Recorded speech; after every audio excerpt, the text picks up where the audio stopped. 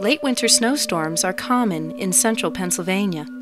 On the island of this pond, a pair of Canada geese will soon arrive to build their nest. This is their story.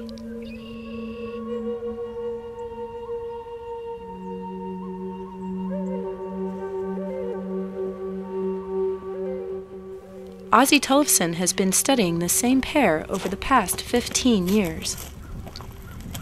So here on the island, the goose will build her nest, lay her eggs, and sit on them for about 30 days before they hatch out.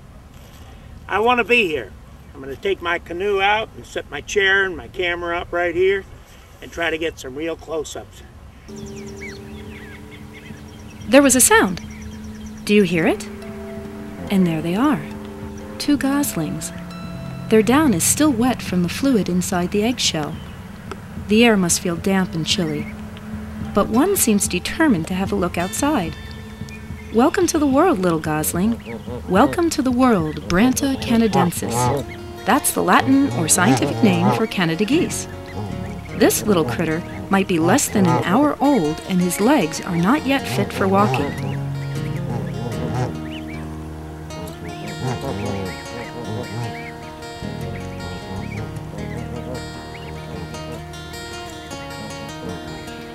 Oh no. Did you see what I saw?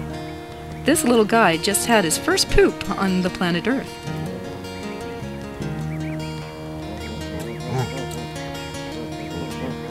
Okay, time to get back inside where it's warm. Now you can't leave your rear end sticking out like that. Maybe Mom will give you a little help with her wing. There you go. That's enough exploring for the first day. So far, two goslings have hatched out. But remember, there were six eggs in the clutch. The remaining four are under the mother and probably should have hatched out by now. Usually, all the goslings break out within 24 hours. They seem to like the warm sun. Everything is new to them as they explore their environment. They're born covered in a fluffy yellowish green down. The covering is soft they won't grow real feathers for another six weeks. It's July 2nd, and the goslings are two months old. With warmer weather, they spend more time in the water. Look carefully at the flock. Notice some heads are lower than the others. These are young adults born this spring.